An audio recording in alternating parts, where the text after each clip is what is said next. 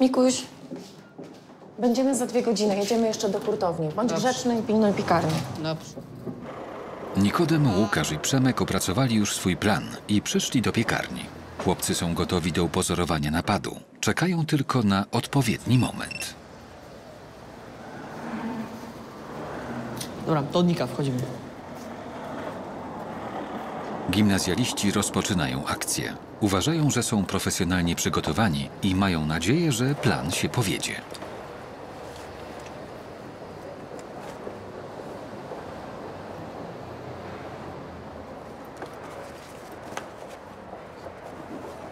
E no co ty, ja biorę broń. No coś ty.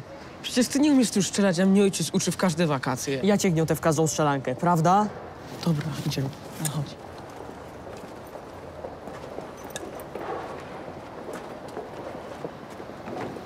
No co się tak gapisz? To jest napad. Dawaj kasę. Szybko! Ruchy, bo rozwalimy tą budę. Ała! Jezu, Boli fuck. mnie! Niko, nie chciałem, celowałem w ścianę, słowo. Pogięło cię? Mówiłem, że nie umiesz tym strzelać. To było przypadkiem. Ja Niko. pieprzę, ale Jezu. mnie to boli. Ej, dzwonię po pogotowie, Niko. co jest? Żyjesz? Tak, że- Dzwonię po pogotowie? nawet lepiej, że jestem ranny. Będzie wyglądało na prawdziwszy. Ale przecież tu są kamery, wszystko się nagrało. Nagrywają tylko obraz. Ale nie wydasz mnie, stary, prawda? Nie. Rany boskie, co tu się stało? Postrzelili mnie! Nie wierzę, że to się stało. Ja pieprzę. Postrzeliłem Nika. A jak on mnie jakoś wyda, albo oni się sami jakoś dowiedzą. Nie chcę wylądować w poprawczaku. Nieoczekiwanie do piekarni wracają rodzice Nikodema. Widok zgromadzonych na miejscu gapiów bardzo ich niepokoi. Nie spodziewali się, że ich syn został postrzelony. Jezus Maria, Nikuś, co się stało? Nikodem, co się stało? No jak gdzieś dwaj kolesie napadli na piekarnię. Strzelali do mnie. Zawiadomiliśmy już pogotowie, policję. Dziękuję. Strzelali chyba Dziękuję. z Jak ty się wiatrówki. czujesz? Ja się tak bałam, że zginę. Nic ci nie będzie, obiecuję, synku. A jeśli jeszcze raz napadną na piekarnię, to proszę was, ja nie chcę tu pracować. Nie będziesz musiał, prawda, Tomek? Teraz najważniejsze, żebyśmy do szpitala dotarli, Ani. Proszę. Nie mogę w to uwierzyć. Ktoś strzelał do mojego syna. Niepotrzebnie go zostawialiśmy samego. Mam nadzieję, że nic poważnego mu się nie stanie. Łukasz i Przemek po tym, jak przypadkiem postrzelili kolegę, postanowili schować gdzieś broń. Jedynym miejscem, które przyszło im do głowy jest szkoła. Na sali gimnastycznej właśnie rozpoczął się oczekiwany przez wszystkich koncert. Jak ty sobie to wyobrażasz? Tata się od razu skapnie, że nie ma jego wiatrówki i to myślisz, że to ja ją wziąłem. No dobra, nakręcisz go, że sam ją gdzieś posiał, ja znajdę na internecie jak usunąć z niej wszystkie ślady, no i mu ją podrzucisz. Nie ma pewnie, problemu. ja mam za ciebie odwalać całą robotę. Zapomniałeś, że to ty postrzeliłeś Nika i dałeś plamę? Dobra, jak chcesz, dawaj to, sam to ogarnę. Boże. Chodź.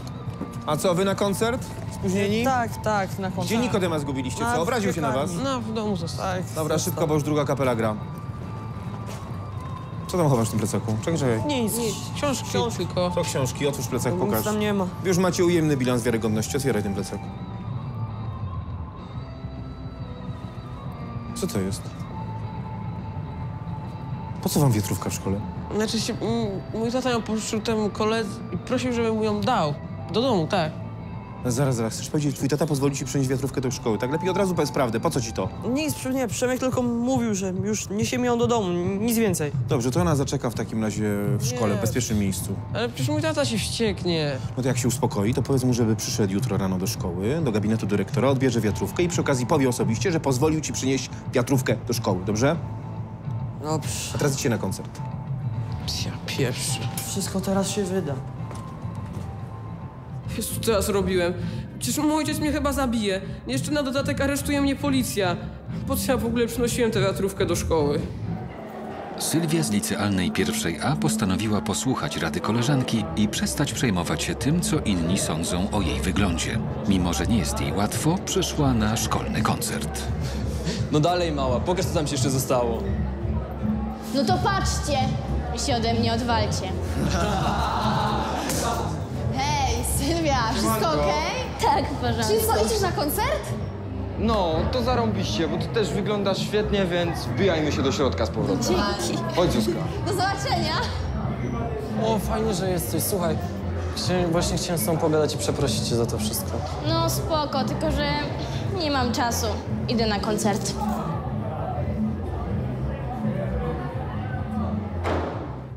Nie będzie mi teraz łatwo. Wszyscy dalej będą się ze mnie nabijać.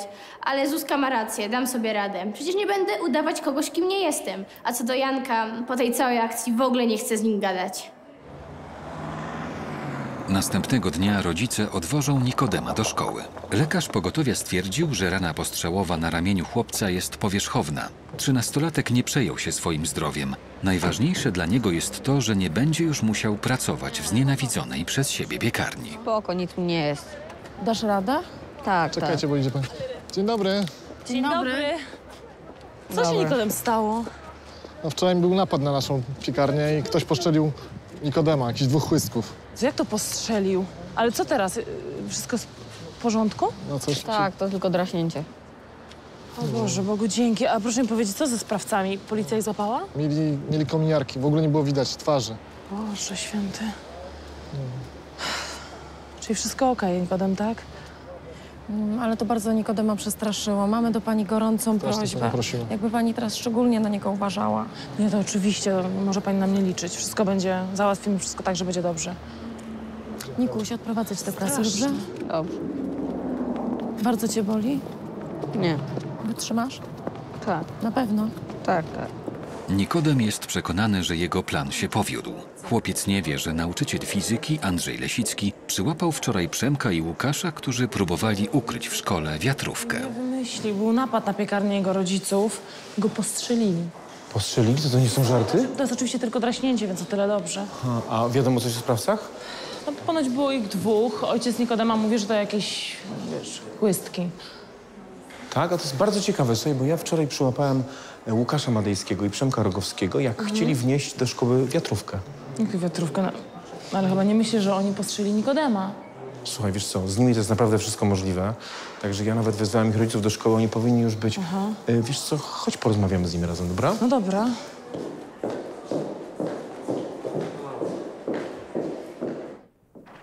Zdenerwowani rodzice Przemka i Łukasza próbują dowiedzieć się od swoich synów, dlaczego przynieśli do szkoły broń. Przerażeni chłopcy nie chcą się przyznać, że razem z Nikodemem upozorowali napad na piekarnię jego rodziców i przez przypadek postrzelili kolegę. Podczas napadu na piekarnię jego rodziców. Ale chyba państwo nie podejrzewacie, że nasi chłopcy mają coś z tym wspólnego. To akurat policja sprawdzi. Wystarczy, że zbadają wiatrówkę, którą wam wczoraj w szkole zatrzymałem i porównają, czy to z tej broni właśnie został postrzelony Nikodem. No fuck. Ty masz coś wspólnego z tym napadem? Bo ja nie wiedziałem, że to wszystko tak będzie. Postrzeliłeś tego Nikodema, czy nie? Ja nie, Łukasz. Co? Ale ja nie chciałem. To był wypadek. Jaki wypadek? Po co ty brałeś w ogóle tą wiatrówkę do rąk? Niko nas do tego namówił. Chciał, żebyśmy wystraszyli jego rodziców, żeby już więcej nie musiał siedzieć w tej piekarni. I wy się daliście mu, daliście się mu to wciągnąć. Nie wierzę. Gdzie wy mieliście głowy? To wszystko to był jeden wielki wypadek. Ty już Naprawdę. nic, ty już nic lepiej nie mów. Co z nimi teraz będzie? Znaczy, my zaraz idziemy do dyrektora, ale jest jeszcze sprawa na policji. Właśnie. Dobrze, ja się zajmę Nikodemem. Tak. A my do dyrektora, proszę. Chodźcie.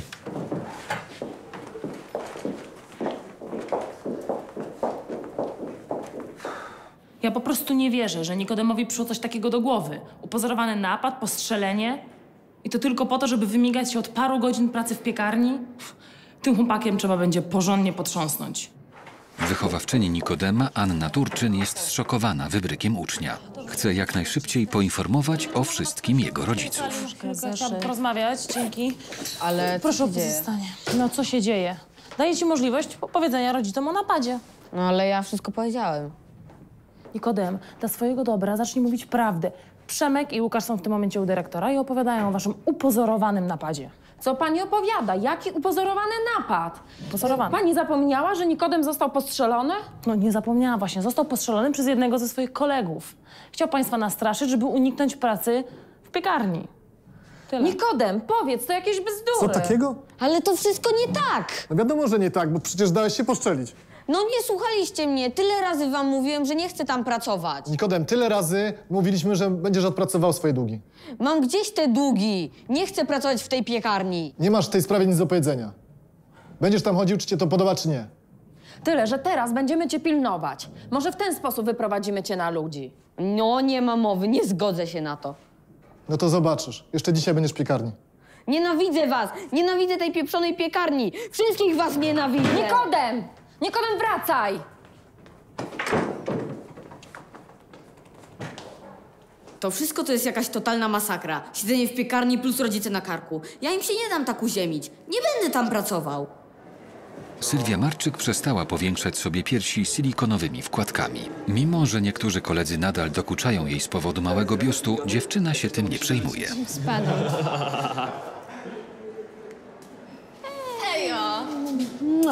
Hejo!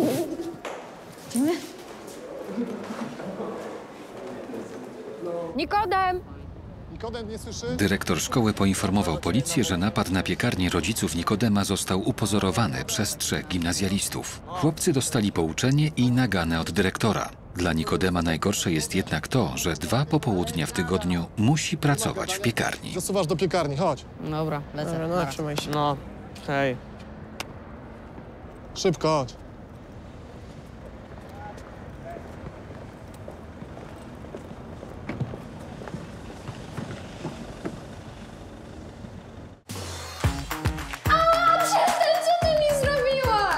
Piętnastolatka ma na plecach tatuaż z imieniem byłego chłopaka. Zdesperowana chce go usunąć za pomocą kwasu siarkowego. W toalecie jej koleżanka oblewa się kwasem. Spożycie zaledwie kilku gramów tego kwasu to jest naprawdę dawka śmiertelna. Pijecie? No raczej nie. No nie wiem. Chłopaki, chłopaki, wstańcie. Adrian nienawidzi Wiktora, bo ten podrywa jego dziewczynę. Uli podoba się, że chłopak jest o nią zazdrosny i prowokuje walkę obu nastolatków. W szatni dochodzi do tragedii. Ula, nie, Ula! Jezus! Uda, Ula, ranna jest! Uderzyłem ją nosem w brzuch! Ale W gdzie- szatni jest, w szatni, raz, pomóżcie jej! Boże, coś ci się stanie, ja sobie tego nigdy nie baczę. Dlaczego w ogóle brałem ten nóż do szkoły?